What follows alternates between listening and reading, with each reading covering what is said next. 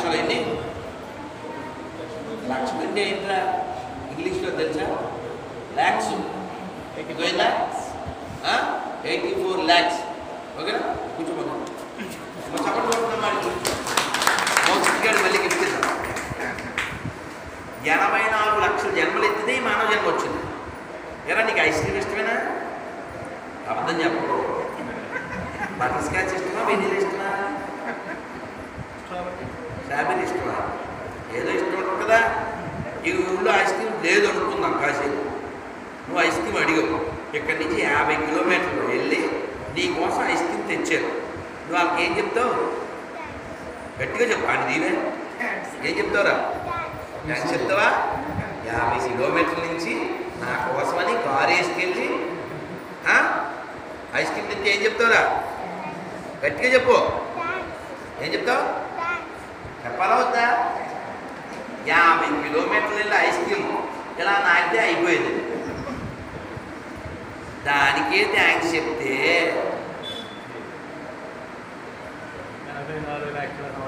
ఎనభై నాలుగు లక్షల జన్మల తర్వాత మంచి శరీరం ఇచ్చి రెండు కళ్ళు.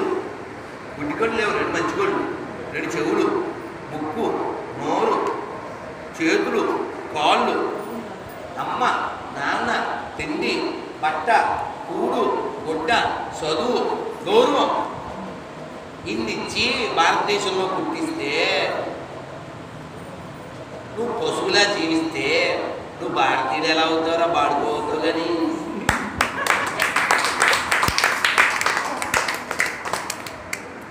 ఏమంటే మీరు ఏం చేస్తుంటారు సార్? ప్రెస్. విలేకరు. మీరు ఇంట్లో టీవీ చూస్తే మీ జాబు చేసినట్టు అవుతుందా అండి? లేకపోతే ఆ- ప్రెస్ వాళ్ళకి ఏదో ఒకటి ఇస్తే అవుద్దా అండి ఆ ప్రెస్ వాళ్ళకి ఏదో ఒకటి రిపోర్ట్ ఏదో ఇవ్వాలి కదండి. నువ్వేం శాస్త్రి. పద్ధతి ఆ షాప్కి న్యాయం చేయడం అంటే షాప్లో సామాన్లు తాళం వేసి ఉంటే పడుకోవడం కాదు. అవునా? ఓ ఉద్యోగస్తుడు ఉన్నాడు. నెల నెల జీతం తీసుకుంటాడు. ఆ పైన ఉండే వాళ్ళు ఈ నుంచి ఏదో ఎక్స్పెక్ట్ చేస్తారు కదండి. నెలకు ముప్పై వేలు ఉంటున్నాం వీడికి. అని ఆ పని ఆ ఎక్స్పెక్టేషన్ ఉంటుంది కదండి. జీతం తీసుకుంటావుగా? మరి ఇంత జీవితం తీసుకున్నాడు? ఇంత జీవితం ఇచ్చిన వాడెవరు దానికి ఏం ఎక్స్పెక్టేషన్ ఉంటుందండి? ఉంటుందా? ఏంటి ఎక్స్పెక్టేషన్ తెలుసా భగవంతుడికి? వీడు ఎప్పుడు వస్తాడో అని. వీడు ఇంటికి ఎప్పుడు వస్తాడో? వీడు నా వైపు ఎప్పుడు తిరుగుతాడో? ఇక్కడే పరిసత్తున్నాడో శ్రేష్టంలో ఏలాగా? బురదలో పందిలాగా? ఇక్కడ ఏమంటున్నాడో వీడు వెనక్కి ఎప్పుడు వస్తాడు? అని ఆయన ఏం చేస్తుంటాడు? మనని ఆ బురద నుంచి ఇటువైపు తిప్పడం కోసం ఆచార్యులు పంపిస్తుంటాడు. రామానుజాచారి శంకరాచార్య అద్వైతాచార్య వల్లభాచార్య మధ్వాచార్య అన్నమాచార్య రామదాసు కనకదాసు సూర్యదాసు కబీర్దాసు తులసిదాసు పురందరదాసు కనకదాసు నామదేవు జ్ఞానదేవు మీరాబాయి రుక్మాబాయి తుకారం. ఇంతమందిని ఇలాంటి వాళ్ళు పంపిస్తాడు. మన వికారం తీయడం కోసం. ఎన్ని కీర్తనలు విన్నా మనం మారం రామాయణం భగవద్గీత భాగవతం మహాభారతం ఉపనిషత్తులు వేదాలు పురాణాలు ఉప పురాణాలు ఇతిహాసాలు ఇన్ని పుస్తకాలు పంపిస్తాడు మన మస్తకాలు మారుతాయి. మారవు. సప్తర్షులు పంపిస్తాడు. మానవ చివరికి తనే మత్స్యకూర్మ వరాహ నారసింహ. పరశురామ వామన బలరామ బుద్ధ కల్కి ఇలా ఎన్నో అవతారాలు ఎత్తి వస్తాడు ఎట్లయినా వీడు వెనక్కి రావాలి. అయితే వెనక్కి రావడం ఎలా రావాలి మనం? సహజ సిద్ధంగా రావాలి. ప్రేమ అనేది ఎలా రావాలి సార్. అంతేనా? ఒరే ఇలా రా. ఇప్పుడు వీడు వీడికి బుద్ధి పుడితే మీరైనా సరే ఇప్పుడు ఎవరో ఇందాక ఒక పెద్ద ఆయన వచ్చారు మీలో కొంతమంది దండం పెట్టిపోయారు అమ్మ పాలు తాగకుండా పెట్టండి రా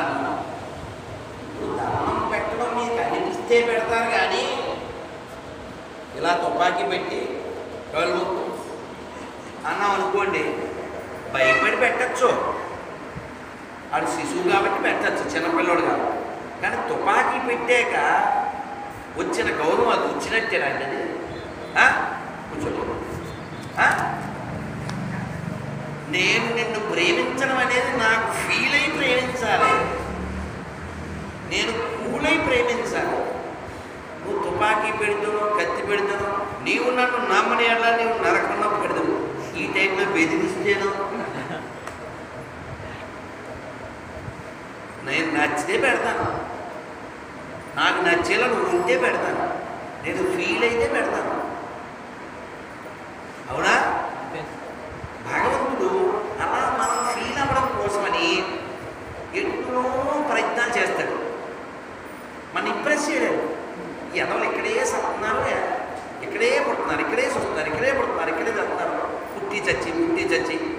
संसारे बहु दुस्तारे कृपया पारे पाहि मुरारे।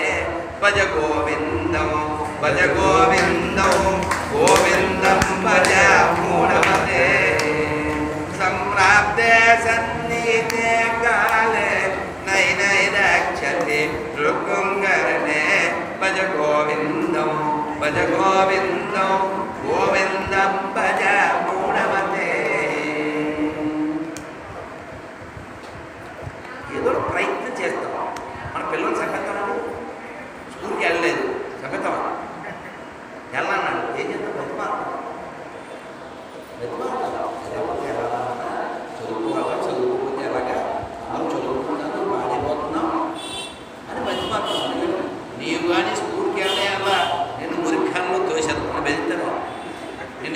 నిన్ను అంటారా పిల్లోడిని. అంట కదండి పిల్లోడు ఎలా ఉన్నా ప్రేమించాలి. ఆవిడ నాన్న. అవునా? మనం ఎలా ఉన్నా భగవంతుడు ప్రేమిస్తూనే ఉంటాడు. మన కోసం వెయిట్ చేస్తూ ఉంటాడు. మా వచ్చాడా ఇక్కడికి వచ్చాడా? ఆ, రైట్. అవునా? వైపు చూసాడా అవును నమస్కారం పెట్టాడా? ఓన్లే ఈ శ్రీరామంకి వచ్చాడు. అక్కడ ఏదో కూరగాయలు కోసింది ఆవిడ. ఇగో ఆవిడేమో మా ఆవిడకి ఆ జడ అంటే ఆవిడ సంబరపడిపోతుంది ఆ సీతమ్మ జడలు తింటారుగా ఆ లేదు ఆవిడ కొట్టాడు ఆవిడ. మా ఆవిడ కోసం రేపు పొద్దున్న జడ ఆవిడ. ఏం పేరమ్మా అమ్మా.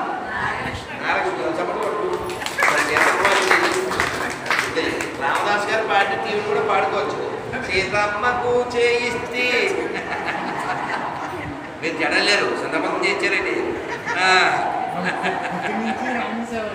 ఇదే నేను చెప్పే ఇప్పుడు చూడండి మనకి ఇంకో వ్యాపకం లేదు రాముడే మన వ్యాపకం ఎంతమందిని ఎవరు కూర్చోబెట్టారండి? డబ్బులు కూర్చోబెట్టినా కులం కూర్చోబెట్టిందా? తుపాకీ కూర్చోబెట్టిందా ఇక్కడ మన్నే? రాముడు కూర్చోబెట్టాడు. ఇది లవ్వు. ఇది భక్తి. బిర్యానీ ప్యాకెట్ కూర్చోబెట్టి ఏంటి? సండే వచ్చిందని ఇంకో ప్యాకెట్ కూర్చోబెట్టిందా? కాదు కదా. ఉపవాసాలు చేసి కూడా రాముడు ఉపవాసం చేస్తున్నాం రాముడు మన ఆత్మ అండి. మన పరమాత్మ. ఈయన దేవుడు ఎక్కడున్నాడండి? ఎంత మీరు చిన్నప్పుడు వినే ఉంటారు ఈ మాట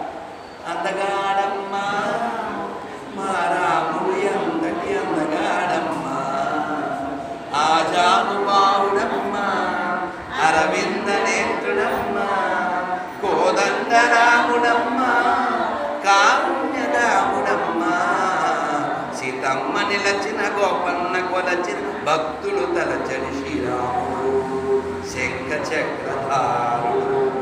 అదిగో గౌతము ఇదిగో భద్రాద్రి. రామదాసు నిర్మించిన ఆలయం. ఎంత భాగ్యవంతులు అండి మనం. అడుగడుగునా రాముడు. పాట మీకు తెలిసే ఉంటుంది ఈ పాట. ఆ పక్క ఈ పక్క రామనామము మీరు ఏ పక్క చూసినా రామనామము. తెలుసు కదా? పలకండి పలకండి రామనామము. మీరు పలకమండి పలకరేమి రామనామము? ఆ పేట ఈ పేట రామనామము. మీరు ఏ పేట చూసినా రామనామము. ఆ ఇంట ఈ ఇంట రామనామము. మీరు ఏ ఇంట చూసినా రామనామము. అంతెందుకండి నా బాగు మా నాన్నగారు ఏదన్నా రాస్తే మా నాన్నగారు ఏమిటి? చాలామంది తండ్రులు తల్లులు పుస్తకంలో ఫస్ట్ రాసి ఉంది ఏం రాసేవారు? ఏమన్నా కాదండి? అవునా కదా? నేను మా నాన్నగారు రాసిన పేపరు ఆయన సంతకంలో దాచుకున్నాను మరి ఆయన లేరు కదా? శ్రీరామ.